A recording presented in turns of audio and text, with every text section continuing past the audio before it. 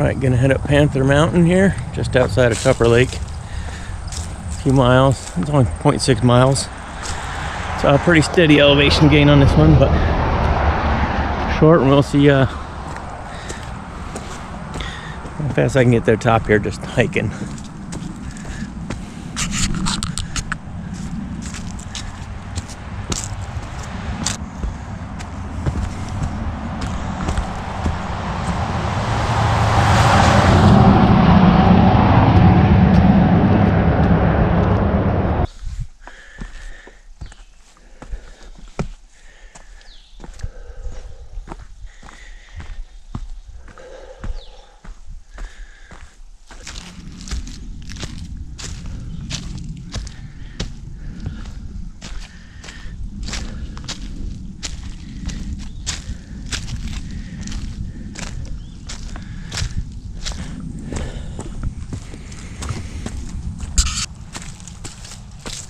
Getting close.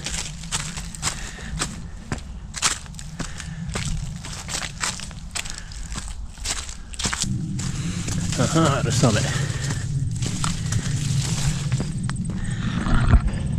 Oh.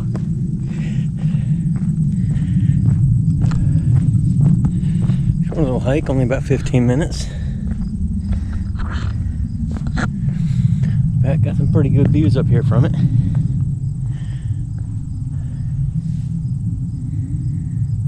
Not bad.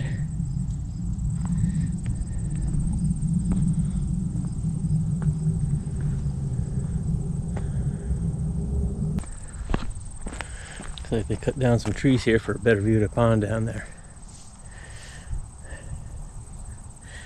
That was nice of them. Surprised they did it, but assuming that was DEC or somebody official. True summit, actual highest part. I actually have better views from a little bit lower.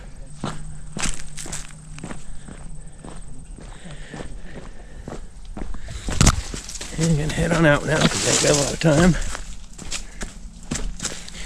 Another one of the little ones I like to do before work sometimes. A version of a little workout out in the outdoors. Okay, coming down, uh, trail's not super well marked. And it was, uh, seemed that the trail was apparent, but I completely went the wrong way. Because, uh, looks like a lot of people make that mistake because, uh, don't like the trail. The roots are wore out and the trail gets a lot of traffic. Good traffic, that is. I ended up coming out way up the road over there. Found my way over this way, which wasn't too hard because I could tell, like I said, a lot of people obviously accidentally go that way. It's not a long heart, but I'll give you a little bit of a challenge for about the 15 minutes because pretty steady up. It starts going up and pretty constant going all the way to the summit. And that'll be my last hike for today. Cleaned up, changed, head to work.